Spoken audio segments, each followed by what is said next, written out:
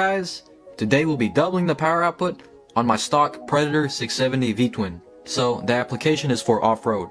We want something that can rev pretty high, but still have lots of torque. So we'll start by removing the oil bolt and draining the oil. This oil looks brand new. Here's our custom header.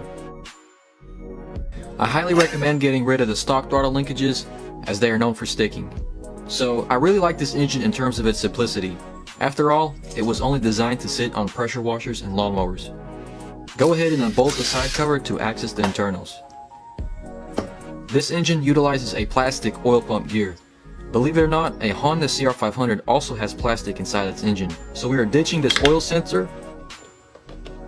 So Harbor Freight should have sold this engine for 50% off because we're literally throwing away half of this engine. Most of the stock stuff is for emissions anyways. The intake manifold and carburetors are highly restrictive, but are great for bottom end power. I'll be deleting this carburetor intake as well as the pulse pump for simplicity.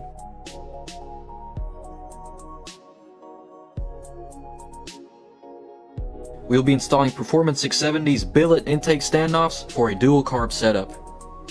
Generally, the bigger the carburetor, the better it is for top end power at the expense of low end torque.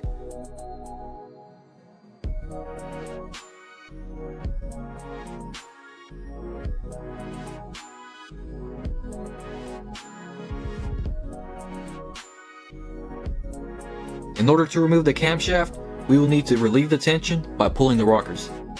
Don't be tempted to prime the cam as you may damage it. And don't forget about the push rods.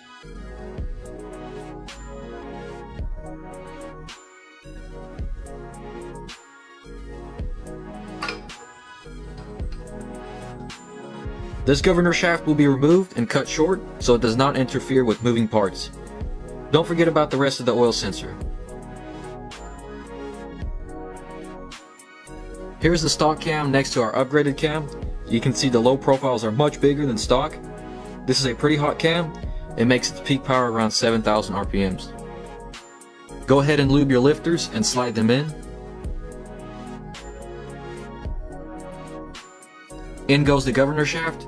Make sure you take note of all washers.